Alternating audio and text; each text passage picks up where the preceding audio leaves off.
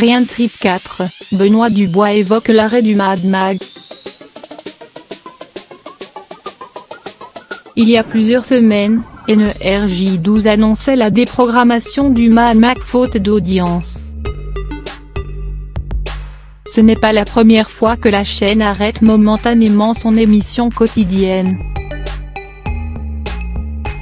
Benoît Dubois, chroniqueur du programme, ne semble pas plus inquiet que cela au micro de toute l'attel. En effet, le candidat de Friend Trip 4 a indiqué que l'émission avait l'habitude de partir, et revenir. Friend Trip 4, Benoît Dubois, pas inquiet. Cela fait maintenant 8 ans que Benoît Dubois est sur NRJ12 et qu'il est chroniqueur pour la chaîne. Les arrêts momentanés du Mad Mag, il les a connus. C'est pourquoi, le candidat de Friend Trip 4 s'est montré rassurant en expliquant. Ça fait 8 ans que je suis sur NRJ12 et l'arrêt du Mad Mag, je l'ai connu et reconnu. Cette émission est un peu les montagnes russes puisque notre cible, les 15 et 24 ans, n'est malheureusement pas un public très fidèle.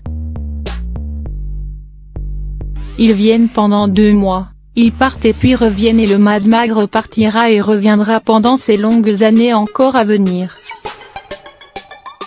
Je le vis bien dans un sens puisque la chaîne m'a toujours confié des choses en attendant. Quand il y a des phases creuses où l'émission est déprogrammée, je suis toujours en contrat avec eux et on travaille sur d'autres concepts.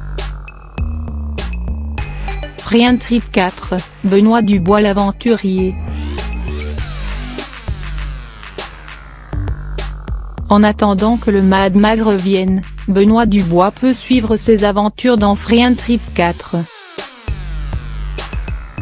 En effet, le chroniqueur a participé au programme d'aventure.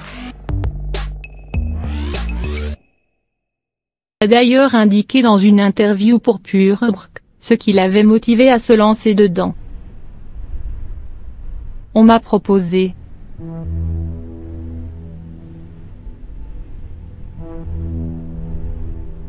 Quand on me propose, je réfléchis et j'y vais.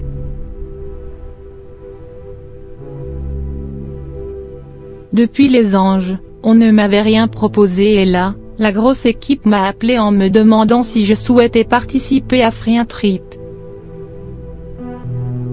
Elle m'a aussi proposé de le faire avec ma mère.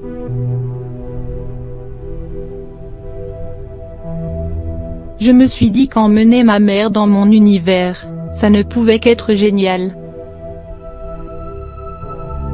C'était super excitant de lui montrer les caméras, la façon dont ça se passe, les candidats et je trouve ça très cool d'avoir partagé cette aventure avec ma mère.